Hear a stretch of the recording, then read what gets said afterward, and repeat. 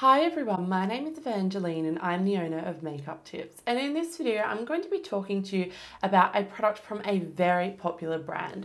So a couple of you messaged me and asked me to do a video on this and my application tips. And this product is the MAC Retro Matte Liquid Lip Color. So MAC are a brand that are very famous for their original lipsticks. These were a launch from them a little while back, but a lot of people haven't necessarily fallen head over heels with them as much as they have the original lipsticks.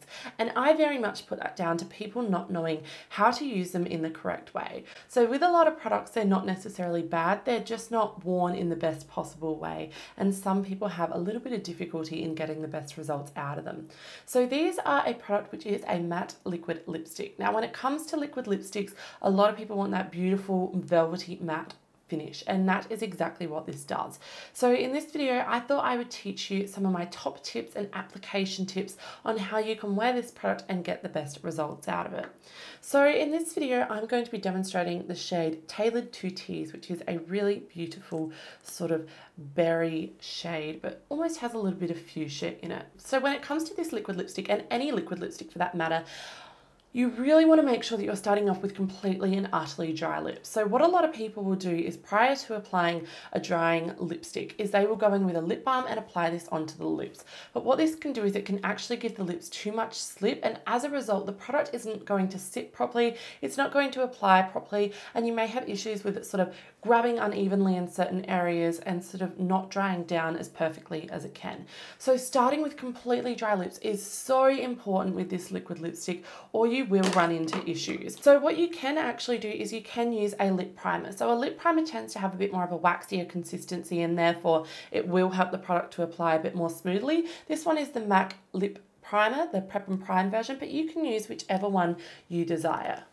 Another thing that I like to do and a tip that I like to do is to take a little bit of translucent powder and gently sort of press that over the lips before you go on to applying the liquid lipstick. This is just going to help to remove any moisture from the lips and that way you're going to have that perfect clean base to work with. Using something that is too wet and is too sort of slippery can cause the product to apply unevenly. So really making sure that the lips are completely dry before you apply this product is a really great thing. They can't have too much moisture or hydration or the product is not going to work great. Now when it does come to these liquid lipsticks, I do recommend that your lips be in quite good condition before using them. You want to make sure that they are hydrated and that they are in good condition, but don't do that necessarily just before using this product. Make sure that your lips sort of are free from flakiness and are quite hydrated the night or one to two days beforehand. So onto the application of the actual liquid lipstick.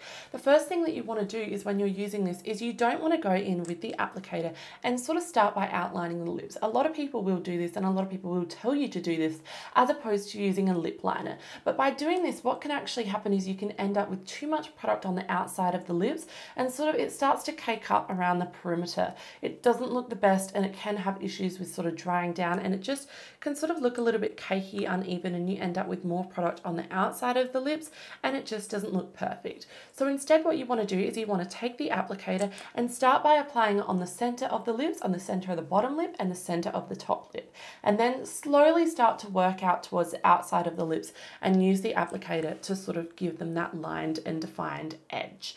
Additionally, something that you can do is you can actually take the applicator and you can very gently sort of wipe off and dab off any of the excess product so that you don't get that caking. Now, if you really want that perfect edge, what you can do is whilst the product is still sort of setting, is going with a clean dry lip brush and just sort of blur out the edges a little bit and smooth out the edges so that you get sort of a more defined cupid's bow or more defined sort of edge on the sort of lip line. Now I find that with liquid lipsticks, if you try too hard to get the edge perfect, that's when you can start to run into issues. Think of it like this. Most people aren't going to be sort of super up in your face and examining every little, little edge of your lipstick. So if it's not 110% perfect, but it's almost there, just leave it. You don't need to sort of stress too much about getting it absolutely perfect. Another thing that you can do is you can take a cotton tip with a little bit of makeup remover and just sort of go around the outside of the lips. But if you are doing this, try and do it before you've applied your foundation and all your other products. Otherwise, you may sort of come into a few issues with it not looking perfect perfect. Obviously, you can also use the good old tip as well of using um, a little bit of concealer and going around the outside of the lips. So once you have applied this liquid lipstick, the one thing that you really don't want to do is smack your lips together. So at any point in this lipstick application, do not smack your lips together.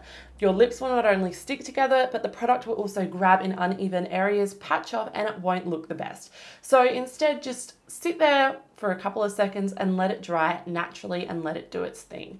Additionally, blotting it off with a tissue is not going to be a great thing to do because for starters, you're probably not going to get much blot off once the product has dried down anyway, but it's just going to mean that the product sort of splits and goes a little bit yucky and uneven, which is obviously not what you want. Now, these liquid lipsticks are quite long wearing. I find that I can get about six to eight hours wear out of them before they start looking a little bit worse for wear.